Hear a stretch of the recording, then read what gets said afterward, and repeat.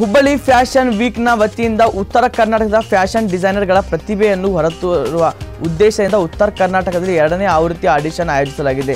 ಇದರಲ್ಲಿ ಆರರಿಂದ ಹದಿನಾಲ್ಕು ವರ್ಷದೊಳಗಿನ ಮಕ್ಕಳು ಆಡಿಷನ್ ಏಪ್ರಿಲ್ ಏಳರಂದು ನಗರದ ಅರ್ಬನ್ ಓಯಿಸನ್ ಮಾಲ್ನಲ್ಲಿ ಆಯೋಜಿಸಲಾಗಿದೆ ಎಂದು ಕಾರ್ಯಕ್ರಮದ ಸಂಚಾಲಕರಾದ ಸುನಿಲ್ ರಾಘವ್ ತಿಳಿಸಿದ್ದಾರೆ.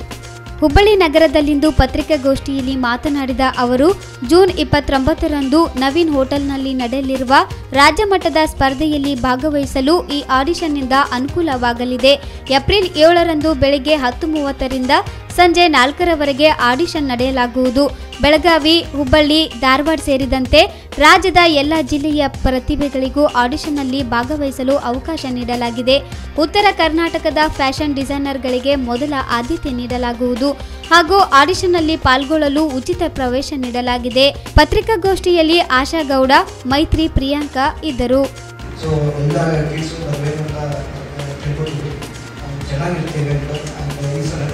ಲಾಸ್ಟ್ ಬಂದಿರೋ ಸೆಲೆಬ್ರಿಟೀಸ್ ಅದೇ ಕಾರಣ ಈ ಸಲ ನಾಲ್ಕೈದು ಜನ ಸೆಲೆಬ್ರಿಟಿ ಪ್ಲ್ಯಾನ್ ಮಾಡ್ತಾ ಇದ್ದೀವಿ.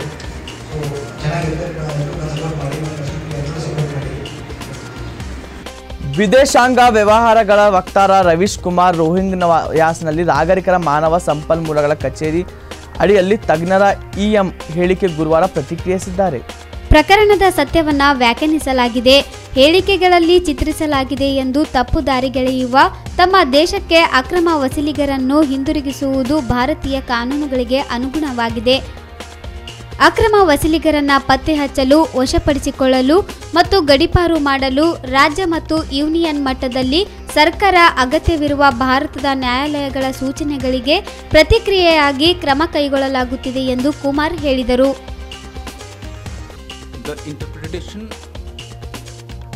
Which have been made of the facts of the case as portrayed in the statement are misleading and incorrect. We have to remember that the repatriation of illegal immigrants to their country of origin is in accordance with Indian laws. These actions have been undertaken in response to the instructions of India's courts, which have required Nepal Bharat ಫ್ರಾಂಚೈಸ್ನ investment ಶೃಂಗಾರ ಸಭೆಯನ್ನು ಮೇ ಹದಿನೈದರಿಂದ ಪ್ರಾರಂಭಿಸುತ್ತದೆ. ಎರಡು ದಿನ franchise ಇನ್ವೆಸ್ಟೆಂಟ್ ಶೃಂಗಸಭೆ ಹಿಮಾಲಯ ದೇಶದ ರಾಜಧಾನಿ ಕಠ್ಮಂಡದಲ್ಲಿ ನಡೆಯಲಿದೆ ಮತ್ತು ಭಾರತದ ರಾಯಭಾರಿ ಕಚೇರಿ ನೇಪಾಳದ ವಾಣಿಜ್ಯ ಮತ್ತು ಉದ್ಯಮದ ಒಕ್ಕೂಟದಿಂದ ಭಾರತವನ್ನು ಉಪಸ್ಥಿತ ಮಾಡಿ. Summit will be held in Nepal's capital Kathmandu and is being organized in association with the Embassy of India, Franchisee India by the Federation of Nepalese Chambers of Commerce and Industry. investments also come in terms of technology and know-how. When uh, a brand like, for example, a brand like VLCC or a brand like Gold Gym comes in Nepal, it comes along with it the technology, the know-how, the best practices, which then come and create like a bullet effect in the country itself. So these are the factors which we have in mind. We also are going to have a session exclusively for Nepali brands, flagship Nepali brands, how to take them to India, how to build the channels where they can start their businesses ಗಂಡನ ಸಾವಿನ ಬಗ್ಗೆ ಅನುಮಾನ ವ್ಯಕ್ತಪಡಿಸಿ ದೂರು ನೀಡಿದ್ದಕ್ಕೆ ಮೃತನ ಪತ್ನಿಗೆ ಕುಟುಂಬದವರೇ ಹೆಗ್ಗಾಮೊಗ್ಗ ಥಳಿಸಿದ ಘಟನೆ ಬೆಂಗಳೂರಿನ ಕಮ್ಮನಹಳ್ಳಿಯಲ್ಲಿ ನಿನ್ನೆ ರಾತ್ರಿ ನಡೆದಿದೆ ಬಾಣಸವಾಡಿ ಠಾಣಾ ವ್ಯಾಪ್ತಿಯ ಹಳೆ rowdy sheeter Shivakumar alias smoker Shivakumar ಪತ್ನಿ ಪ್ರೇಮಾವತಿ ಎಂಬಾಕೆ ಮೇಲೆ ಆಕೆಯ ನಾದಿನಿ ಶಿಲ್ಪ ಮತ್ತು ಅವಳ ಮಗಳು ಮೋನಿಶಾ ಹಲ್ಲೆ ನಡೆಸಿದ್ದಾರೆ. ಎರಡು ತಿಂಗಳು ಹಿಂದೆ ಶಿವಕುಮಾರ್ ಹೃದಯಾಘಾತದಿಂದ ಸಾವಿಗೀಡಾಗಿದ್ದ ಆತನ ವ್ಯವಹಾರಗಳಲ್ಲಿ ಸಹೋದರರಿಬ್ಬರು ಪಾಲುದಾರರಾಗಿದ್ದರು. ಆದರೆ ಶಿವಕುಮಾರ್ ಸಾವಿನ ಬಳಿಕ ಮೈದನರ ನಡವಳಿಕೆಯಿಂದ ಅನುಮಾನಗೊಂಡಿದ್ದ ಪ್ರೇಮಾವತಿ ನಿನ್ನೆ ಮಧ್ಯಾಹ್ನ ತನ್ನ ಗಂಡನ ಸಾವಿನ ಬಗ್ಗೆ ಸೂಕ್ತ ತನಿಖೆ ನಡೆಸುವಂತೆ ಬಾಣಸವಾಡಿ ಠಾಣೆಗೆ ದೂರು ನೀಡಿದರು.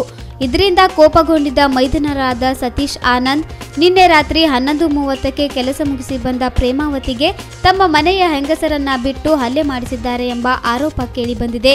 ಈ ಹಿನ್ನೆಲೆ ಪ್ರೇಮಾವತಿ ಠಾಣೆಗೆ ದೂರು ನೀಡಿದ್ದು, ಕಮ್ಮನಹಳ್ಳಿ ಖಾಸಗಿ ಆಸ್ಪತ್ರೆಯಲ್ಲಿ ಚಿಕಿತ್ಸೆ ಪಡೆಯುತ್ತಿದ್ದಾರೆ.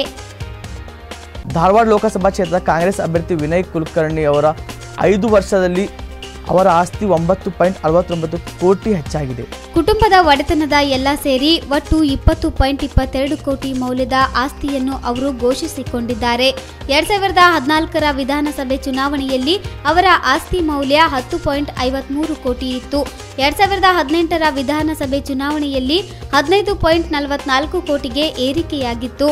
ಪತ್ನಿ ಶಿವಲೀಲಾ ಅವರ ಹೆಸರಿನಲ್ಲಿ ಎರಡು ಪಾಯಿಂಟ್ ಐವತ್ತೇಳು ಕೋಟಿ ಚರಾಸ್ತಿ ಇದೆ. ಪುತ್ರಿ ವೈಶಾಲಿ ಹೆಸರಿನಲ್ಲಿ ಹದಿನೇಳು ಪಾಯಿಂಟ್ ತೊಂಬತ್ತೊಂದು ಲಕ್ಷ. ಇನ್ನೋರ್ವ ಪುತ್ರಿ ದೀಪಾ ಹೆಸರಿನಲ್ಲಿ ಹದಿನೇಳು ಪಾಯಿಂಟ್ ಎಪ್ಪತ್ತ್ಮೂರು ಲಕ್ಷ. ಪುತ್ರ ಹೇಮಂತ್ ಹೆಸರಿನಲ್ಲಿ ಐದು ಪಾಯಿಂಟ್ ಹತ್ತು ಲಕ್ಷದ ಚರಾಸ್ತಿ ಇದೆ. ಮೂರು ಪಾಯಿಂಟ್ ಎಪ್ಪತ್ತೈದು ಕೋಟಿ ಹಣವನ್ನ ವಿನಯ್ ಡೈರಿ, ವಿಶಲ್ ಲಾಜಿಸ್ಟಿಕ್ ಮತ್ತು ವಿನಯ್ ಗೋಟಾ ಫಾರ್ಮ್ ಮೇಲೆ ಹೂಡಿಕೆ ಮಾಡಿದ್ದಾರೆ. ಯಾವುದೇ ಸಾಲ ಅಥವಾ ಆದಾಯ ತೆರಿಗೆ ಬಾಕಿ ಉಳಿಸಿಕೊಂಡಿಲ್ಲ ಎಂದು ಅಫಿಡವಿಟ್ನಲ್ಲಿ ತಿಳಿಸಿದ್ದಾರೆ.